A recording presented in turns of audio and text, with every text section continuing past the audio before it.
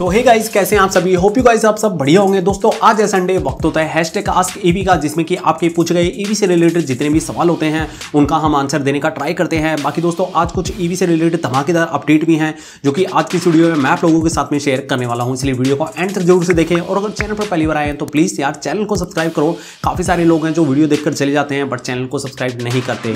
तो दोस्तों, इस हफ़्ते की सबसे बड़ी न्यूज़ आ रही है एम्पियर कंपनी की तरफ़ से। एम्पियर कंपनी के मैग्नेस एक्स इलेक्ट्रिक स्कूटर चलते चलते रास्ते में टूट गया है एक का, जिससे कि राइडर को तो हालाँकि कुछ नहीं हुआ है, लेकिन एक बड़ा हादसा होने से यहाँ पर बच गया, क्योंकि इस स्कूटर पर हस्बैंड वाइफ और उनका बेबी था। हालाँकि तीनों को यहाँ पर कुछ भी नहीं हुआ है तो ये एक अच्छी बात है। बट यहाँ पर ये सभी केस यूपी से आ रहे हैं, और यूपी से इससे पहले चालीस ऐसे केस ऑलरेडी मैग्नेस एक्स के हमें देखने को मिल चुके हैं, जो कि एक दो तो मैंने भी आपको वीडियो में बनाकर बताया था इससे पहले भी। तो एम्पर कंपनी का जो भी अभी इलेक्ट्रिक स्कूटर लेने की सोच रहे हैं, या फिर जिनके पास है प्लीज़ यार ये स्कूटर थोड़ा ध्यान से चलाना। बाकी यहाँ पर एम्पर कंपनी की तरफ़ से अभी भी कोई भी जवाब नहीं आया है इस केस के ऊपर और इससे पहले भी काफ़ी केस हो चुके हैं, जिसके ऊपर अगेन एम्पेयर कंपनी ने कोई भी रिस्पॉन्स नहीं दिया है। तो मेरे अकॉर्डिंग तो यहाँ पर कंपनी को ज़रूर से कुछ ना कुछ ज़रूर से बोलना चाहिए। नेक्स्ट दोस्तों जून मंथ की ईवी सेल रिपोर्ट यहाँ पर आप इन लोगों ने देखी ली होगी, जो कि मैंने अपलोड करके आपको बताई थी, जो कि जून मंथ में काफ़ी ज़्यादा ड्रॉप हुई है यहाँ पर सेल सभी ईवी मैन्युफैक्चर की यहाँ पर बुरी हालत हो चुकी है। यहाँ पर आप टॉप टेन लिस्ट में देख सकते हैं, जिसमें कि ओला ने जून मंथ में सिर्फ़ सत्रह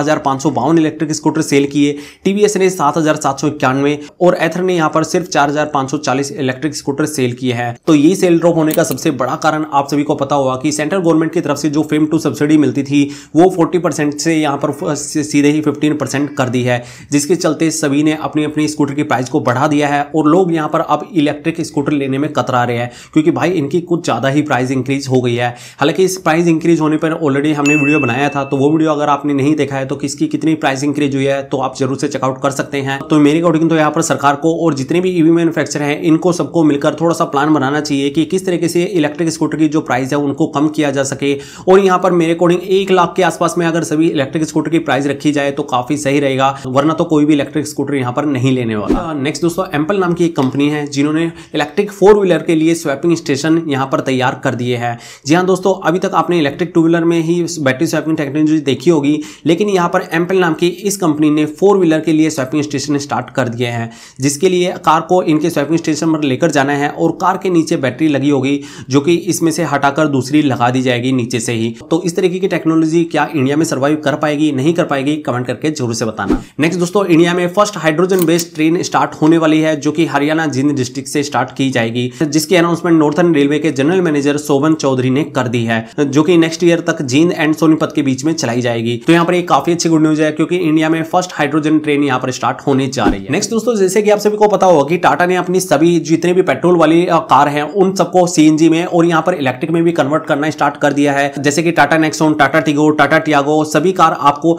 सीएनजी पेट्रोल और ईवी में भी देखने को मिलती है। तो ऐसे ही अब टाटा अपनी टाटा पंच पेट्रोल वाली कार को ईवी में लाने की तैयारी कर रही है। क्योंकि टेस्टिंग के दौरान यहाँ पर स्पाई की गई है, जिसमें कि ट्रेनिंग नया होगा 360 कैमरा होगा रियर साइड में भी डिस्क इस बार दिए जाएँगे। तो यहाँ पर काफ़ी अच्छी देखने में लग रही है। हालाँकि इसका जो ओवरव्यू लुक है, वो आपको टाटा पंच वाला ही देखने को मिलेगा। नेक्स्ट दोस्तों, दिल्ली के सीएम अरविंद केजरीवाल जी ने 30 जून को यहाँ पर 200 और नई इलेक्ट्रिक बस को हरी झंडी दिखा दी है, जो कि अब आपको दिल्ली की रोड पर देखने को मिलेगी। इससे पहले 300 बसेस पब्लिक ट्रांसपोर्ट के लिए ऑलरेडी चल रही थी, जिसके बाद में इनकी टोटल कैपेसिटी यहाँ पर 500 बस की हो गई है, जो कि काफ़ी अच्छी बात है। यहाँ पर पब्लिक ट्रांसपोर्ट में अगर इलेक्ट्रिक व्हीकल यूज़ होंगे तो यहाँ पर दिल्ली का जो पोल्यूशन है, वो कम किया जा सकेगा। नेक्स्ट दोस्तों, यहाँ पर ओवन कंपनी को अपनी ओवन रोयर इलेक्ट्रिक बाइक के लिए 4.9 मिलियन डॉलर की फंडिंग मिल चुकी है, जो कि काफ़ी बड़ा अमाउंट है। अब इनका प्रोडक्शन और डिलीवरी में यहाँ पर तेज़ी देखने को मिलेगी। साथ ही ओवन रोयर इलेक्ट्रिक बाइक की डिलीवरी जुलाई मंथ में स्टार्ट होने वाली है। इसके अलावा अगर आप ओवन रोयर की इस बाइक के बारे में और कुछ जानना चाहते हैं तो इसके ऊपर ऑलरेडी हमने कल परसों एक वीडियो बनाया था तो वो वीडियो आप ज़रूर से चेकआउट कर सकते हैं। लिंक आपको नीचे डिस्क्रिप्शन में या फिर ऊपर कार्ड में मिल जाएगा। नेक्स्ट दोस्तों गोगो कंपनी के बारे में तो आप लोग जानती हैं। ये कंपनी अब इंडिया में घुस चुकी है और अपनी जड़ें मज़बूत करने में यहाँ पर लगी हुई है।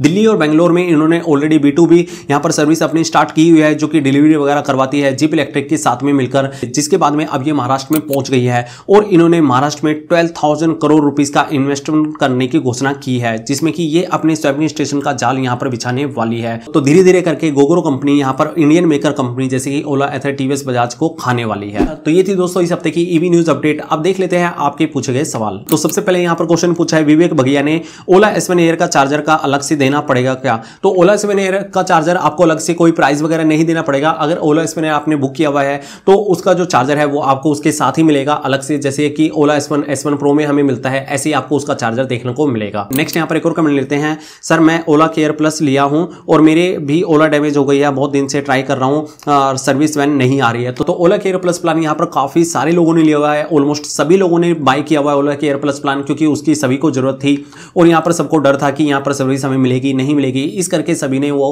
प्लान लिया हुआ है। और उसके बाद में जो जो सर्विस यहाँ पर उस प्लान में प्रोवाइड करवानी थी वो यहाँ पर कंपनी बिल्कुल भी नहीं दे रही है होम पर सर्विस नहीं मिल रही है सर्विस वैन नहीं आ रही है तो इस तरीके की प्रॉब्लम सभी को देखने को मिल रही है। तो आप वेट ना करो, इनके सर्विस सेंटर पहुँच जाओ, वहाँ पर जाकर आप अपना स्कूटर ठीक करवा सकते हैं। नेक्स्ट यहाँ पर एक और कमेंट लेते हैं, जो एक साल के बाद वाला हमने रिव्यू डाला था, उसमें कमेंट आया है this scooter has lot of issue पूरा का पूरा सॉफ्टवेयर बेस स्कूटर है, बहुत होगा, क्योंकि इनका सॉफ्टवेयर को मेंटेन करना पड़ता है, और वो बहुत हेडेक है, ये लॉन्ग लास्टिंग नहीं है। तो यहाँ पर सॉफ्टवेयर बेस्ड इलेक्ट्रिक स्कूटर है, ये तो हमें सभी को पता है, ऐसे ही एथर है बट यहाँ पर ओला के केस में काफ़ी ज़्यादा बग देखने को मिलते हैं।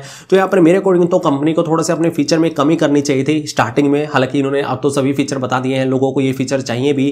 तो यहाँ पर थोड़े फीचर कम करने देने चाहिए थे और अपने स्कूटर पर ध्यान ज़्यादा देना चाहिए था। नेक्स्ट यहाँ पर एक और कमेंट ले लेते हैं। एम्पेयर मैग्नेस का जो एक और स्कूटर टूटा था, आज से काफ़ी टाइम पहले मैंने वीडियो बनाकर डाला था, उसमें कमेंट आया भाई, मेरे वाले का पूरा ड्रम ब्रेक मारने पर टूट गया है थर्टी थर्टी फाइव की स्पीड पर व्हील जाम हो गया है पार्ट वारंटी में नहीं है, ऐसा बता रहे हैं। Don't buy Ampere Greaves vehicle waste of money तो यहाँ पर देख सकते हैं कि एम्पेयर मैग्नेस की काफ़ी ज़्यादा कंप्लेंट देखने को मिल रही है। तो इसी तरीके से अगर प्रॉब्लम चलती रही तो एम्पेयर कंपनी की यहाँ पर सेल डाउन हो जाएगी। नेक्स्ट यहाँ पर एक और कमेंट ले लेते हैं। West Bengal price one lakh seventy two thousand तो हमने ईवी टू व्हीलर की जो सेल रिपोर्ट बताई थी, उसमें यहाँ पर मैंने पूछा था कि ओला एस वन प्रो का आपके स्टेट में कितना प्राइस है? तो यहाँ पर वेस्ट बंगाल में बताया है one lakh seventy two thousand तो यहाँ पर काफ़ी ज़्यादा प्राइस है one lakh seventy two thousand यहाँ पर दिल्ली में one lakh fifty five thousand rupees है, जबकि उस पर उसके बाद में आपको सब्सिडी भी मिलेगी। तो आप देख ही सकते हैं, काफ़ी कम रेट यहाँ पर दिल्ली में है। बाकी अदर स्टेट में काफ़ी ज़्यादा ज़्यादा यहाँ पर प्राइस देखने को मिल रहा है। तो हर एक स्टेट में यहाँ पर काफ़ी ज़्यादा ओला स्पेन का प्राइस यहाँ पर बढ़ गया है। नेक्स्ट यहाँ पर एक और कमेंट लेते हैं। अब ईवी स्कूटर नहीं लूँगा पेट्रोल स्कूटर ही ठीक है। तो यहाँ पर ईवी सेल रिपोर्ट आने के बाद में सभी का मूड यहाँ पर ऑफ़ हो गया है, क्योंकि इतनी सेल डाउन हुई है इनकी, और दूसरा इनके जो प्राइस है, वो भी काफ़ी ज़्यादा आसमान छू रहे हैं,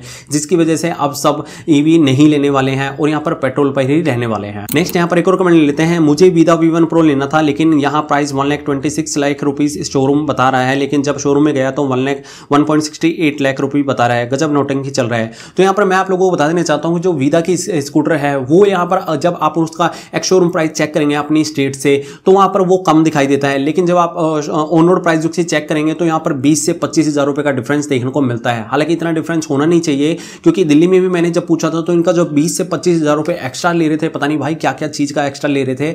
यहाँ पर जो सभी इलेक्ट्रिक व्हीकल के एक्स शोरूम से और उनका जो ऑन रोड प्राइस की बात करें तो दस से बारह हज़ार रुपये मैक्सिमम आता है, यानी कि मैक्सिमम टू मैक्सिमम यहाँ पर पंद्रह हज़ार रुपये आता है। नेक्स्ट यहाँ पर टीवीएस का भी काफ़ी ज़्यादा लेते हैं एक्स शोरूम से उनकी ऑन रोड प्राइस में, और इसी तरीके से जो हीरो की विदा है, वो तो यहाँ पर बीस से पच्चीस हज़ार रुपये एक्स्ट्रा लेते हैं, जो कि काफ़ी ज़्यादा है। नेक्स्ट यहाँ पर एक और कमेंट लेते हैं July start Ola S Air update please तो ओला एस एयर की अभी तक कोई भी अपडेट नहीं है बट जैसे कि जुलाई स्टार्ट हो चुका है तो दस जुलाई के आसपास में इनका इवेंट शायद से यहाँ पर हमें देखने को मिलने वाला है। नेक्स्ट यहाँ पर एक और कमेंट लेते हैं, मेरा स्कूटर डेड हो गया है, कल टेक्नीशियन आ रहे हैं, लेकिन मैं थर्ड पार्टी एसेसरीज लगाया है तो मुझे टेंशन हो रहा है कि मेरे स्कूटर की वारंटी वॉइड तो नहीं होगी तो यहाँ पर अगर आपको टेंशन होती है कि आपने जो पार्ट लगाए हुए हैं एसेसरीज लगाई हुई है, उसकी वजह से अगर कोई प्रॉब्लम आती है स्कूटर में तो आपकी जो वारंटी है वो वॉइड हो जाती है। उसकी वजह से अगर प्रॉब्लम आती है, कोई भी एसेसरीज जो आपने लगाई हुई है।